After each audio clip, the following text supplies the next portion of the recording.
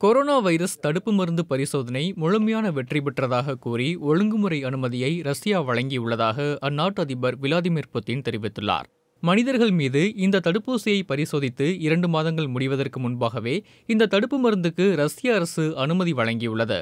இதுவே கொரோனாவுக்கான உலகின் முதல் தடுப்பு மருந்து என்றும் தேவையான அனைத்து பரிசோதனைகளும் முடிந்துவிட்டதாக புதின் கூறியுள்ளார். மேலும் கூடிய விரைவில் மிகப்பெரிய எண்ணிக்கையில் இந்த தடுப்பு மருந்தை ரஷ்யா உற்பத்தி செய்யும் என நம்புவதாகவும் புதின் தெரிவித்துள்ளார்.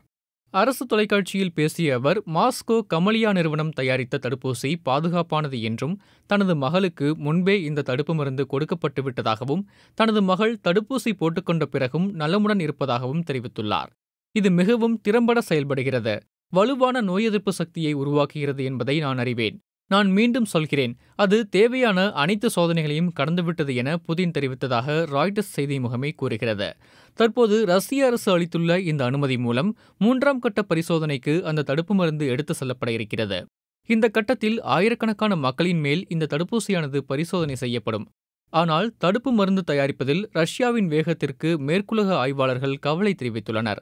மேலிடத்தில் இருந்து வந்த அழுத்தம் காரணமாகவே ஆய்வாளர்கள் சில நடைமுறைகளை புறந்தள்ளி இவ்வளவு வேகம் காட்டுவதாக அவர்கள் கூறுகின்றனர். கொரோனா தடுப்பு மருந்து மக்கள் பயன்பாட்டுக்கு விரைவில் வரும் என்று முன்னதாக ரஷ்யா தெரிவித்திருந்தது.